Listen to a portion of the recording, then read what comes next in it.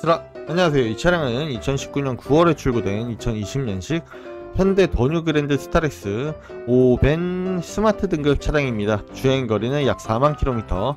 전산에 나와 있는 판매 금액은 2,199만원. 이 금액에서 할인이 된다는 점 꼭 말씀을 드리고 싶고요. 성능 상태 점검 기록부 먼저 확인시켜 드릴게요. 2019년 9월 2일 출고 2020년식 주행거리는 약 4만 253km 사고 보시면 단순 수리 있음 사고 없음 이렇게 나와 있는데요. 트렁크 lid 이제 트렁크 문 있죠? 그것만 교환이 된 거고 골격 사고라든지 이런 건 전혀 없는 차량입니다.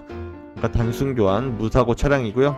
따로 특이사항은 전혀 없고 다 양호하다고 나와 있네요.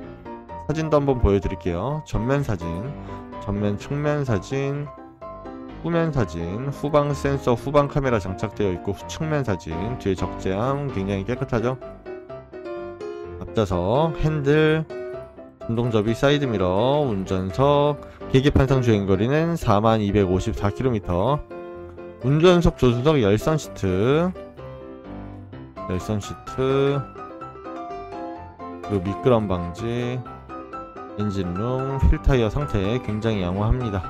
뒷좌석 하이패스 룸밀러 블랙박스 장착.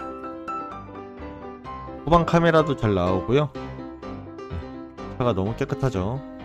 다시 한번 정리시켜 드릴게요. 2019년 9월에 출고된 2020년식 현대 더뉴 그랜드 스타렉스 5인승 디젤 밴 스마트 등급 차량입니다.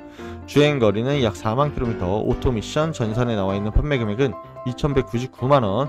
이 금액에서 최대한 할인해서 판매해 보도록 하겠습니다. 감사합니다